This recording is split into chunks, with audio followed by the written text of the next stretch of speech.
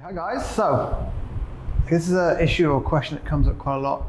Um, you know, when I've got new clients that may have, you know, done things such as yoga or Pilates or you know, into other physios, or whatever it may be, with glute bridges, there always seems to be a bit of a confusion as to the best way or the best technique for doing glute bridges. And what I'm talking about specifically here is whether you should sort of, you know, um, some people call it sort of peeling your spine off the floor. Other people just call it like a pelvic tuck. So if I'm in a sort of on the floor here, if we call this sort of neutral position, so there's a little bit of a gap between my lower back and the floor, and then sort of rolling, if I sort of roll my spine or drive my spine to the floor and sort of tuck my pelvis, the argument is that if you get into that position, it's easy to squeeze your glutes to do a glute bridge, which it is. Um, so obviously, you know, that's a benefit of doing it is it does make it easier. However, there are some trade-offs that I would say um, would make tucking your pelvis um, less than ideal, especially for people who've got a history of lower back pain. So first thing is obviously you understand mechanics of things like disc bulges and herniations and you know in some cases sciatica, things like that. We know that excessive flexion, so rolling or rounding of that lumbar spine, like you would do if you were driving it into the floor, trying to peel the spine off the floor, that's how you create excessive wear and tear on the spine. Now, some people have got more tolerance to that, and some people have got less tolerance to that. But I would say either way, what we want to do is is whatever that finite amount is. So you know, think of it like a bank account. You want to save that for the times you can't control it. So say for example, you know, you're a parent with young children and you know the kid rides the bike and falls in, you have to sort of pick them up very quickly, or you're putting a kid, you know, a screaming child into a crib, things like that. You know, save that bank account for those times we can't control it. What we don't want to do is we don't want to waste it on the exercises that are supposed to be rehabbing our back pain. Because obviously, if I if I if I roll in and I'm doing this every single rep, rounding that lower spine and going into flexion, I'm just needlessly draining that bank account. And now, you know, that that's what exposes me to the times where I can't control it, that it's gonna, you know, the bank account's gonna get to zero, go into overdraft, and that's what's gonna give me a flare up. So what we need to do, non-negotiable, is do the rehab exercises in a way that's gonna help the problem, not make the mechanics of the problem, you know, the underlying problem worse. So again, if you're flexion tolerant because you've got disc issues, you don't want to be slipping into flexion trying to do rehab exercises because that's just not only counteracting what you're trying to do with the exercises, the benefits of them, you're actually potentially making yourself, you know, the, underlying issue a lot worse, which I mean I've seen a few times. The other things we need to think about is the law of specificity. So, you know, how we train or what we train for is, you know, dictates the things that we get at or, or the techniques how we get good you know, learning certain movements and techniques.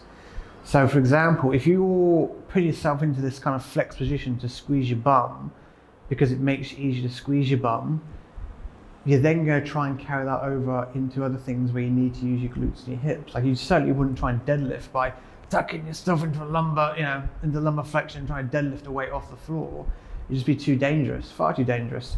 Same with things like squats as well. You wouldn't do like a weird like pelvic tilt and try and hold a squat. So from that regard, let's say you're not flexion and haven't got lower back problems, why would you now ingrain a faulty mechanic just in order to use your glutes? Would it not be better to learn a more back sparing mechanic which will allow you to keep a more stable core and spine and still be able to use your glutes you know, as strongly as possible. I think that would be long term, that would be the best way to do it. So rather than trying to take a shortcut to make it easier to squeeze your glutes, let's think about getting the, the right mechanic. It may be harder initially, but then later on, that will have much more direct carryover into how you want to squat, deadlift, do a kettlebell swing, you know, pick a child up from the floor, wherever it may be, without having to risk putting you back into a weakened position or less than ideal position at least. So instead of tilt or like peeling the spine off the floor or tilting your bum, you know, tilting your pelvis, whatever you want to call it. There's two other ways that we can improve the ability to, con- to contract the glutes because for a lot of people they have, you know, a bit of what we call glute amnesia, so it is hard to get in there. So what are two other ways that we can uh, help improve that situation? So before we even think about those two tips, first thing to do is just to check your setup. So what I will do is be on the floor, just make sure So I like to put my hands by my side. I can almost just about touch my heels with my fingers. That gives me a starting point and I can fine tune from there. So this isn't necessarily a tip, this is just a, you know, a good technique or setting up for a good technique um, tip, I guess. So if your feet are too far away, you're more likely to feel it in your hamstrings, which is a massive no-no for this exercise. That's like the worst thing to feel is your hamstrings. So you always want to make sure it's the glutes. Um, next worst thing to feel really is, is your quads. And that's usually if you have the feet in way too close, they'll feel it in here as they're trying to, trying to extend up. Um, so if we have it here, set like this, that's a good starting point. Then you can sort of fine tune a little bit forward, a little bit back, whatever you may need. The other thing as well is with your feet, rather than having your feet dead straight, I would turn them out sort of five degrees or so. But again, if you want to play around with that, you can do. Now, the two biggest tips I'd say um, that people sort of don't, I've never really seen people sort of teach or use when talking about sort of glute bridge technique. Number one, um, which I've definitely never seen from you know most people, is thinking about rather than just having your sort of your feet just kind of loosely flapping around on the floor and doing God knows what. Think about your feet, but like hands, sort of try and grab the floor. I don't mean just like with your toes, so your, your feet come off like this. I mean actually your whole foot, try and squeeze the floor. So your big toes connected, balls of your feet connected, and your heel well connected. To sort of grab the floor like that. So that in itself gives you a nice stable base to work from. Obviously, the more stable base we've got at the foot, the easier it is to use our hips correctly. So grabbing the floor first, then thinking about tensing the glutes, and then slowly squeezing for the glutes. Already, that gives us a better chance of being able to squeeze the glutes without having to resort to peeling the spine off the floor, going into pelvic tilt. So next one we can use is we can use a band. So at first, this seems kind of counterintuitive because we're, we're adding resistance to a movement we're not very good at, which again is you know, not the obvious choice. Normally, you would add resistance to a movement you've already learnt the basics of. But in this case, and you know, in some other cases, certain exercises, adding a bit of resistance can actually help you contract the correct muscles because you sort of put more demand on them just to be able to hold the right position straight away. So again, you got the same position. And what we would do here with the band is we just put a bit of tension on the band like this. And that already makes it a little bit easier to squeeze the glutes. So if you want to, you can get a band. You can just practice tensing like this for 10 seconds. Just putting that tension on the band and letting go of it. And that already will start to give you a bit more control and awareness of the glutes. So when we went to initiate an actual rep, we just put some tension on the band, we grab the floor with our feet, and now we slowly squeeze up here.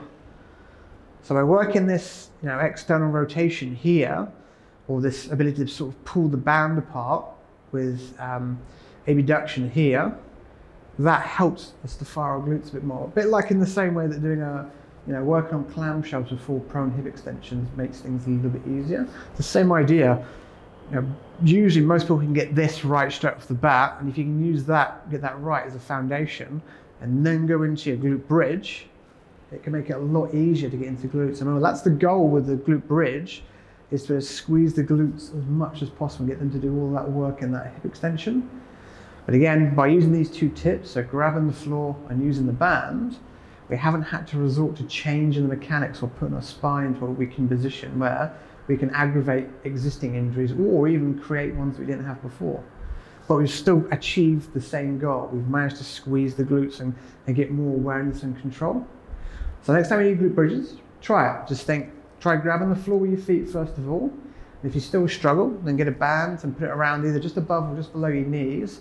And then just practice putting some tension on this first and then slowly squeezing up through the glutes to come up like that. And you'll find it a lot easier to get those glutes to engage and you'll find they're doing a lot more work.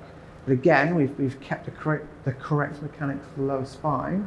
We haven't risked sort of further injury or, you know, at worst, programming errors that will show themselves later on. We're trying to do things like squats and deadlifts and kettlebell swings.